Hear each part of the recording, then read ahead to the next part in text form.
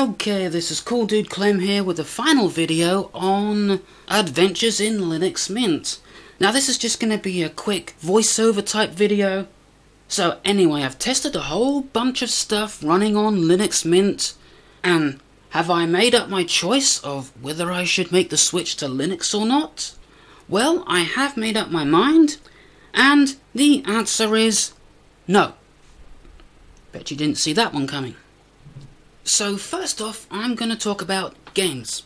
Now, using Wine, I was able to get about 7 out of 9 Windows games to work, including Sonic World, which didn't work at first, but then I did some tweaking in Play on Linux according to what I found on YouTube, and uh, I got that game working, with some other complications as well.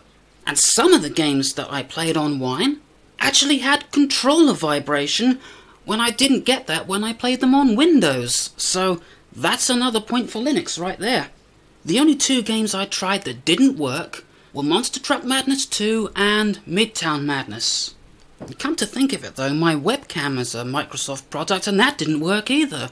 So the only three Microsoft products I tried didn't work. Hmm. On the emulation side of things, I found some pretty good emulators. I found one emulator that can emulate the Game Boy and the Game Boy Advance and the NES and the Super Nintendo. And the really good thing about that is there was no controller lag, so when I press a button on the gamepad, the game responds immediately, and the character on the screen would do it as soon as I press the button. As for Nintendo 64, well, I could only find one emulator, but surprisingly, this emulator could play Beetle Adventure Racing without all those glitches that Project 64 had. There were still a few minor graphic glitches, but nothing that made the game unplayable like it was on Project 64. Now, one program that I found that I really needed was Anti-Micro. Now, what this is, is it basically does the same thing as Xpadder on Windows. And if you don't know what I'm talking about, well, it allows you to use your gamepad as a mouse or a keyboard. So I can do things like move the mouse pointer with the right thumbstick and things like that. And that's really useful for games that don't have very good, you know, controller support. Now as for video editing, I tried this product called Kdenlive, and I've got to say I'm pretty impressed with it.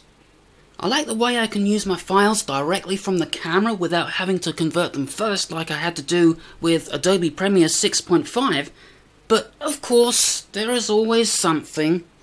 For instance, the transitions don't fill the whole screen. Like you can see here, I've added a transition between two different scenes, and you can see, if we go through frame by frame, it's not filling the whole screen. It should be, but it isn't. And look at this. The pop-up hints show in white text on a yellow background. How are you supposed to see that? And now we're getting into the things that are just turning me away from Linux.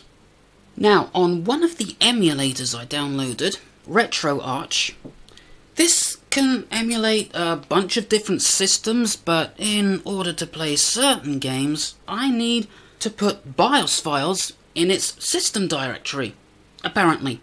However, I've googled and googled and googled and googled how to do that. There's lots of stuff how to install it, but nothing on where you put the BIOS files. I've got the BIOS files, but I don't know where to put them. I mean, I've gone through pretty much every single folder and I cannot find it. I cannot find this RetroArch system folder where I'm supposed to put the BIOS files.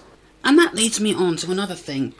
Now, I do like how you can simply type a command into the terminal, you know, sudo apt get install whatever, and it will download and install the program, you know, no mess, no fuss. And there's also the repository where you can install things pretty easily. But if I want to install them again on another Linux, should I want to use it in the future and those aren't available anymore, well, I'm kind of stuck right there.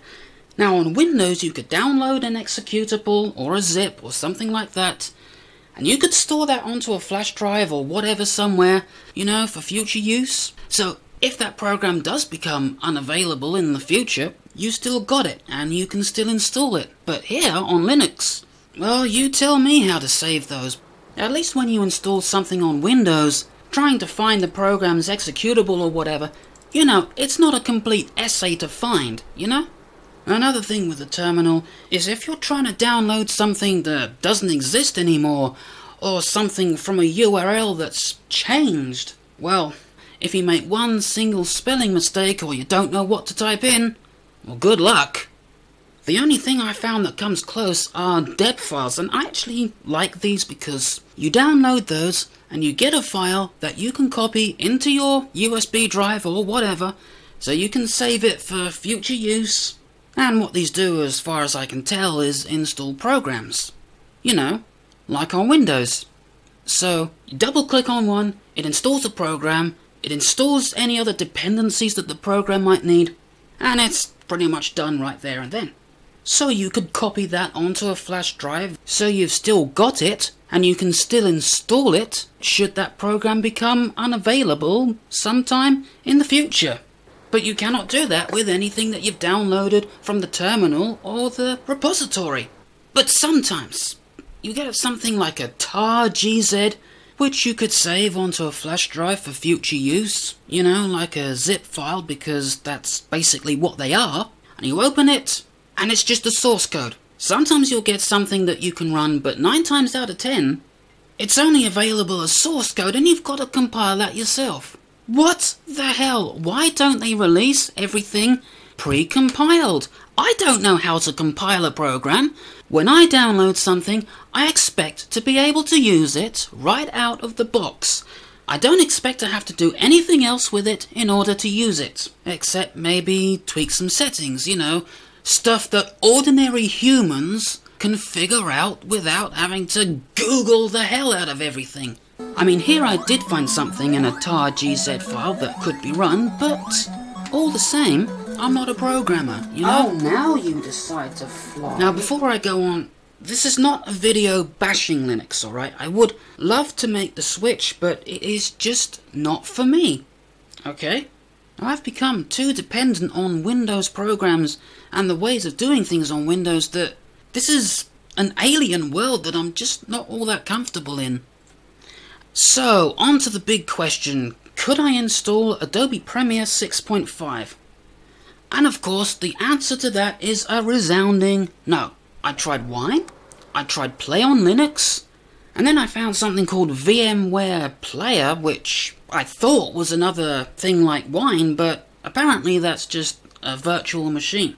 Which means I would still have to be running some version of Windows in order to run Windows programs, and the whole point of trying to switch to Linux was to get away from Windows. So, if I'm running Windows in a virtual machine, well, uh, I might just as well run Windows on real hardware. And finally, going back to capture devices, it refuses to work with my webcam. However, something that I thought would never work actually did, and that's my video capture device that lets me capture things from, you know, analog cameras, VCRs, things like that. Anyway, that brings us to the end of this video. So anyway, this video is going to be edited on Kdenlive, ironically, because I'm just too lazy to switch the hard drives over. But after that, I am done with Linux. I would rather put up with the BS that Windows gives me over the BS that Linux does. At least for now.